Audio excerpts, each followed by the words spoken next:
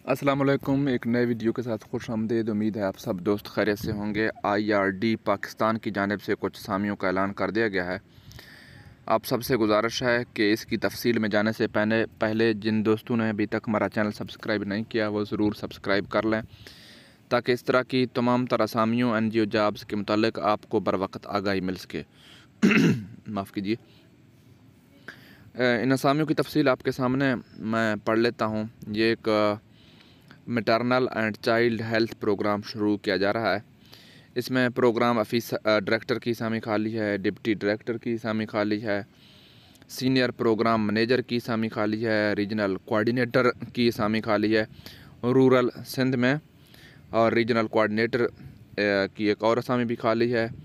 इसके अलावा असामी खाली है प्रोग्राम मैनेजर की district immunization immunization officer Karachi Sujawal, Sujawal और जैकवाबाद ये तीन अजला में ये खाली हैं, सामियाँ।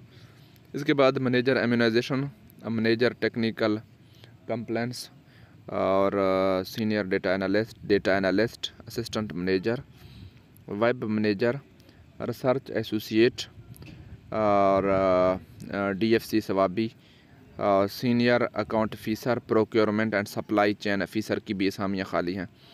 अब सबसे गुजारिश है कि जो लोग इस इन जॉब्स पर अप्लाई करने के शौकीन हैं या चाहते हैं कि इनकी जो मतलूबा तालीमी काबिलियत क्या होनी चाहिए तो अपने I R D dot global slash jobs listing की वेबसाइट ये लिंक क्लिक करना है और वहाँ पर जाकर आपने अप्लाई करना है। इस हवाले से अगर आपका कोई सवाल है तो ज़रूर कमेंट में लिख दीजिएगा। चैनल को सब्सक्राइब कीजिएगा, वीडियो को लाइक और शेयर कीजिएगा। अल्लाह ताला आपका हम जो नासिर हो। शुक्रिया, खुदा हाफिज़।